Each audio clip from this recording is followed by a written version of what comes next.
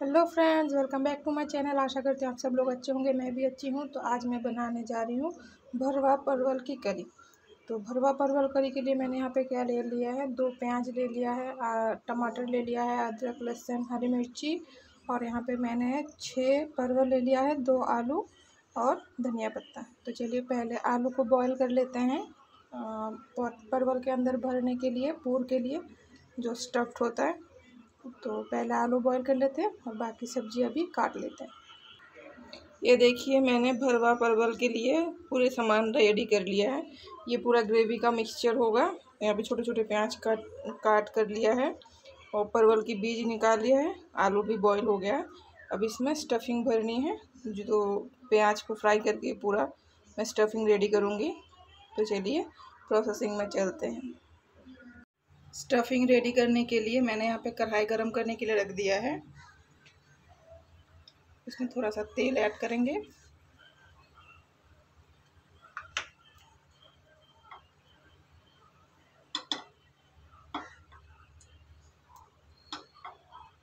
तेल को गरम होने देंगे। देखिए, तेल हमारा गरम हो गया अभी इसमें हम छोटा छोटा कट किया हुआ प्याज, आलू और परवल के बीज को डाल देंगे।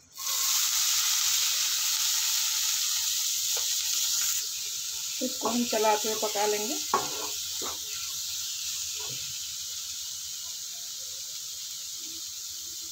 इसमें हाफ़ चम्मच नमक,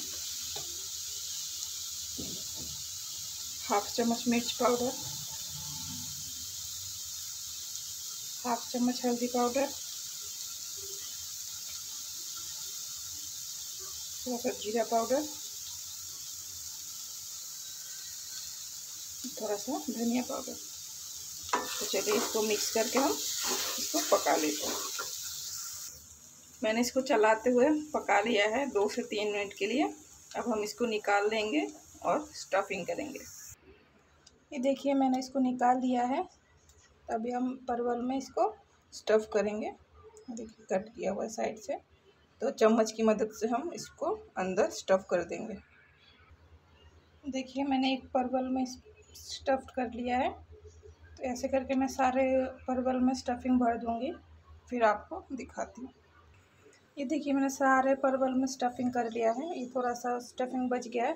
तो मैं इसको ग्रेवी में यूज़ कर लूँगी। मैंने गैस में कढ़ाई चढ़ा दिया है। देखिए, मैंने गैस पे कढ़ाई चढ़ा दिया गर्म होने के लिए। इसमें अभी हम थोड़ा सा तेल डाल देंगे। इसमें थोड़ा एक्स्ट्रा तेल डालेंगे, क्योंकि परवल फ्राई करके निकालने के बाद हम इसी में ग्रेवी की मसाला भी फ्राई करेंगे। चलिए तेल को गर्म होने देते हैं। तेल हमारा गर्म हो गया है। इसमें अभी हम एक एक करके स्टफ़ किया हुआ परवल डाल देंगे।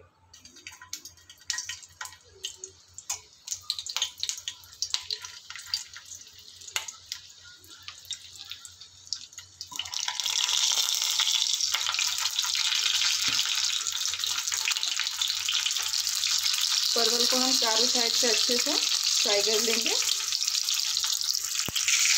परवल हमारा फ्राई हो गया तो हम इसको निकाल लेंगे। ये देखिए, मैंने परवल को निकाल लिया है।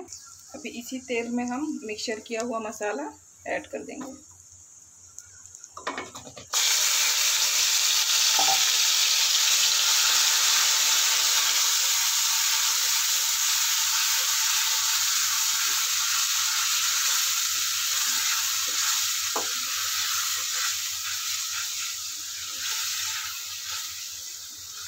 चलिए मसालों को हम थोड़ी देर, तीन से चार मिनट के लिए इसको पका लेते हैं। तीन से चार मिनट के लिए मैंने इसको पका लिया है। अभी हम इसमें मसाला ऐड करेंगे। एक चम्मच नमक, एक चम्मच हल्दी पाउडर, एक चम्मच मिर्च पाउडर, एक चम्मच धनिया पाउडर, एक चम्मच जीरा पाउडर और एक चम्मच चीनी। अच्छे से मिला लेंगे।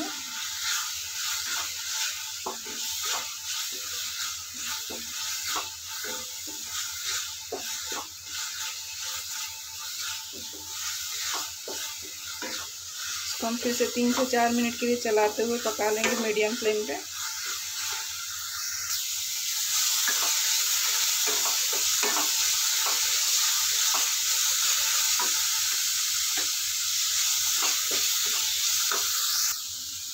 मसाला हमारा ऑलमोस्ट हो गया है।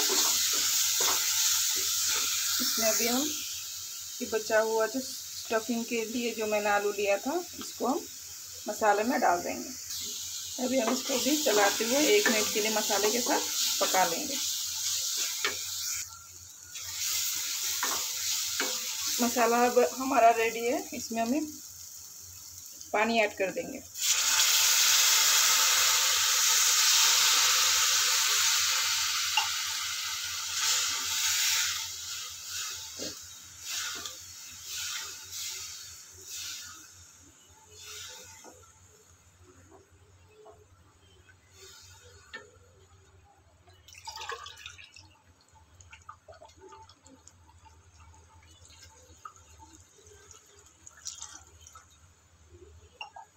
मैंने इसमें दो ग्लास पानी ऐड कर लिया है।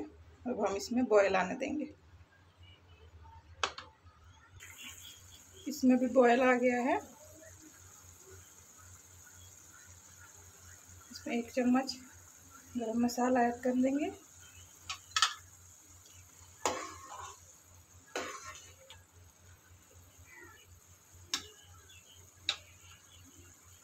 और अभी हम इसमें परवल को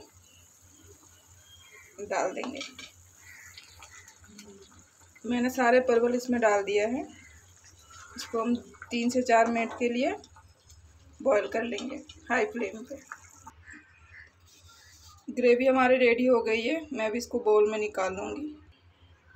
भरवा परवल की ग्रेवी हमारी रेडी है। मैं इसके ऊपर से धनिया पत्ता डाल के इसको सर्व कर दूँगी। अगर आपको वीडियो अच्छी लगी हो तो लाइक शेयर सब्सक्राइब कमेंट में ज़रूर बताना। और अगर मेरे चैनल पे नए हो तो ज़रूर सब्सक्राइब करके जाइएगा। Thank you so much for watching next video में नेक्स्ट रेसिपी के साथ मिलते हैं। तब तक के लिए बाय